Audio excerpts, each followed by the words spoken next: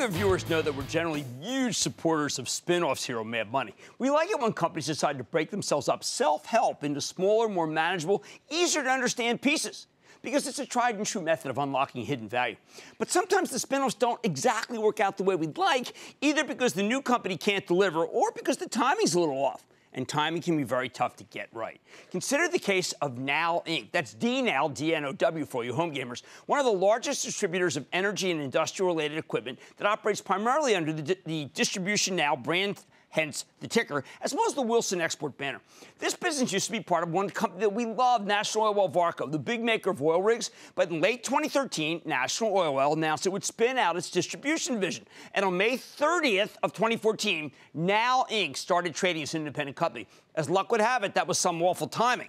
Price of oil was flying at a high. It was at $100 a barrel when the breakup happened. But it peaked a few weeks later and ultimately plunged to the mid 20s early last year before rebounding back to 48 and change, still down more than 50% from three years ago. Now Inc. is all about selling equipment that's used in nearly every part of the oil food chain, and the stock plummeted from 36 shortly after the spinoff down to 12 bucks in January of last year. It's rebounded to the low 20s as the price of crude recovered from its lows, but so far, well, it's been hammered again in 2017. It's down 18% for the year. But oil seems to have stabilized, bounced between the mid 40s and mid low 50s. And when now reported a little less than a month ago, the numbers were excellent. Company delivered a smaller than expected earnings loss, much higher than anticipated revenue, up 15% year over year, thanks to tremendous strength in the U.S. and Canada.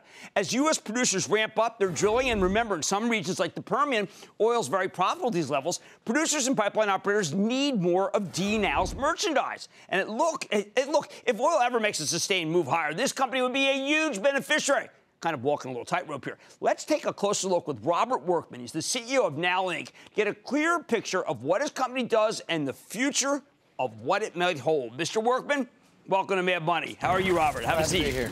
All right, timing not great, but holy cow. You can do incredibly well even between 40 and 50. This quarter would not be the kind of quarter you could have had three years ago. What are you doing to make it so this is just a, a strangely good time for you, even if a lot of oil companies are hurting? Well, you know, in our business, we sell to the drilling rigs while they're drilling. So if somebody's out drilling a six-well pad, we'll sell to that drilling rig. But the biggest part of our revenue stream comes from our operator customers, the pioneers and the marathons, at the point when they build the tank battery to take the oil and gas out of the ground, okay. treat it, and put it in the pipeline. So it lags the rig counts by four to six months.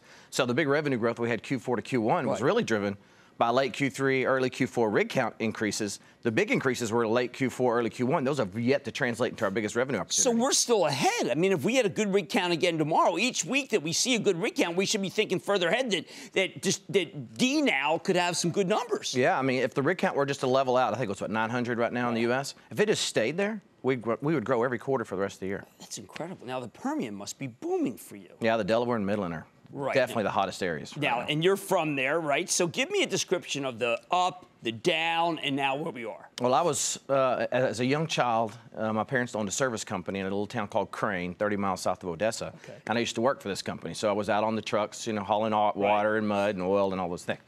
So I was there for the 83 bust, and I was there for the 87 yeah, bust, so I got yeah, to witness that stuff. Yeah. And I thought, this never can get any worse than that, ever. That will be the worst of it. And we just found out I was wrong. This was worse than that one but you managed to save this company. There are many people who thought that this company could not survive in this environment. And not only did you save it, you have a good balance sheet, and you're doing some acquisitions. Yeah, we've we've acquired 12 companies since we've spun, um, probably 750 million ish of capital right. deployed, and we finished the worst downturn of our lives. Q1 still net cash. That's incredible. Now it's not just Permian, Bakken, and Canada. Oh, Canada, our Canada business is doing very well. Now, how is that possible? We always hear that it's such high cost oil up there. Well, it's this one is from organic share growth. We're, our guys are really killing it in okay. southern Saskatchewan, the Montney, the Duvernay place. Yeah, if Canada could get some pipelines, you know, you've seen Kinder Morgan right. trying to get a pipeline exactly. and others. If we could get to the east coast and the west coast of Canada, it'd be even hotter. All right, so tell me what has to happen to make it so that you can be actually uh, pretty profitable because right now you're on the cusp. Right. So, you know, we originally felt like we could get to profitability uh, from EBITDA perspective by Q3. Right.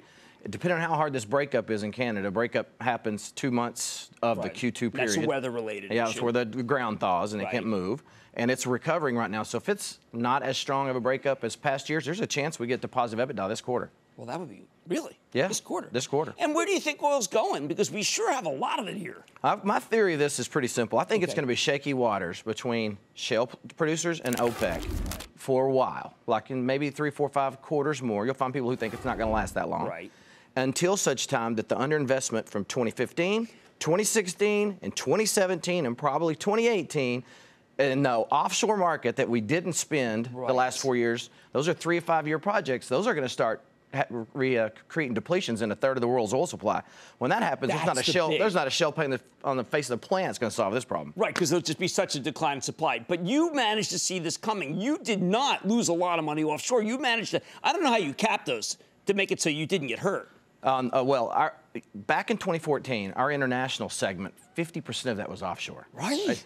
And so we had some huge reductions because not only do we have reductions from the scrapped or stacked rigs, but when they send a rig to Turkey to get cut up because they've scrapped Yeah, it, all that inventory comes off that rig to the shore base in Macaé or Aberdeen or Ciudad del Carmen or somewhere, and it supports the working fleet. So we've had to really, you know, manage our expenses, branch out. We're doing really well in the Middle East on land to try to make up the difference for some of that. Well, I think you might be the levered play. If people think oil's coming back, you're going to make a fortune. Even now, I love EBITDA positive next this quarter. That would be incredible. Okay, that's Robert Workman, the president and CEO of Now, which is DNOW, which has made a remarkable renaissance with oil not really coming back. Mad Money's back after the break. Booyah! Jim Cramer here from Mad Money. Thanks for watching CNBC on YouTube. Click here to subscribe and get the jump on my exclusives with CEOs, plus market news, investing advice, and a whole lot more.